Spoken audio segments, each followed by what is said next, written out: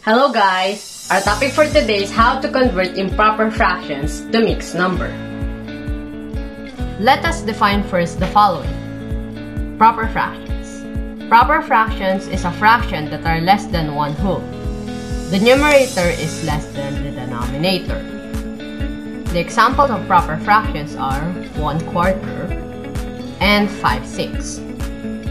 Improper fractions. Improper fraction is a fraction in which the numerator is greater than or equal to the denominator. The examples of proper fractions are 5 thirds and 9 eighths. Mixed number. Mixed number is a combination of a whole number and a fractional part. The examples of a mixed number are 2 and 3 fifths and 1 and 1 halves. Now let's talk about how to convert improper fractions to mixed numbers. Let us take the sample of 7 halves. We will divide the numerator to the denominator, so the equation will be 7 divided by 2.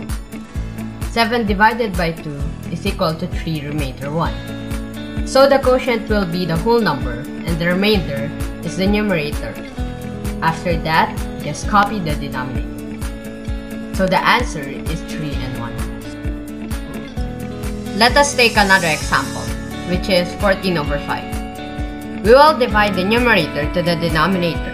So the equation will be 14 divided by 5. 14 divided by 5 is equal to 2 remainder 4.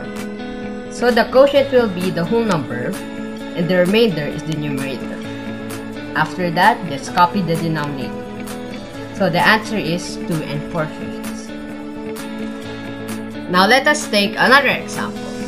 18 over 7. We will divide the numerator to the denominator again, so the equation will be 18 divided by 7.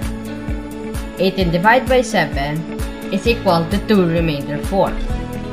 So, the quotient will be the whole number, and the remainder is the numerator. After that, just copy the denominator again, so the answer is 2 and 4 sevenths. And that's it. Now you know how to convert improper fraction to mixed number. If you like this video, please click the like and subscribe button. Thank you for watching.